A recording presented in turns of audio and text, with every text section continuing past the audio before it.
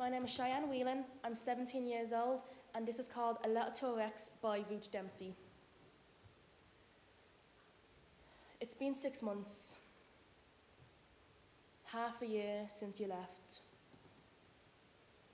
They say things get better over time. That's a lie. Things have only gotten worse. She's gotten worse. She spent this time slowly building up her walls, one brick at a time, until finally she shut everyone out. She went from late night talks to monotone hellos, from happy smiles to sad eyes.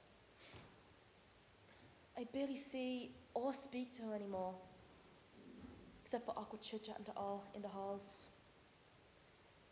Eight years of friendship, 17 years of relative happiness, months of love.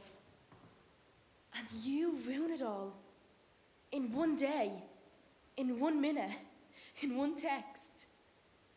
You didn't even stick around to see the aftermath. You weren't there to hold her in your arms as she sobbed uncontrollably. You didn't see the scars on her wrist and begged her to never do it again because she deserves happiness, not pain. You didn't call her beautiful when she called herself fat, unhappy with what she saw in the mirror. You didn't share your food with her because she forgot to pack her lunch again. You didn't stay up till 3 a.m. texting her because she couldn't sleep at night. Above all, you didn't see how much she loved you, how much you affected her, or her face when something reminded her of you, which happened more than she'd like to admit. But I did. I did all these things and more to help pick up the broken pieces of the heart that you shattered. Yet now, I'm being pushed away like everyone else. She's like family to me, and she barely notices me anymore. She just looks through me like, like she can't truly see me. But I know the truth. She's thinking of you, wishing you'd one stand by her side, helping her survive this crazy world.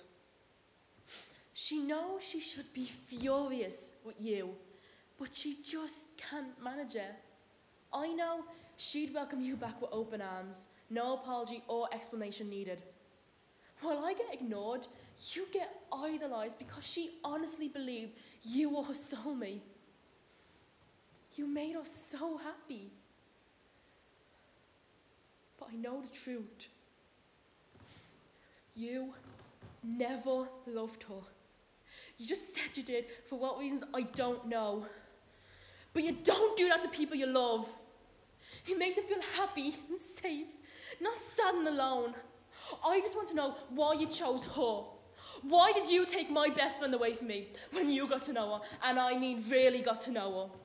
Why did you still do it? She is kind and generous, and as if so much more than you. I hope you realize what you've lost. Because she's not going to wait forever. One day, she'll be able to smile without faking it. Maybe laugh a joke, or finally get a good night's sleep. And before you know it, she'll be back to her old self. The friend I've missed so much. But until then, I'll be right here, looking out for her, waiting for her.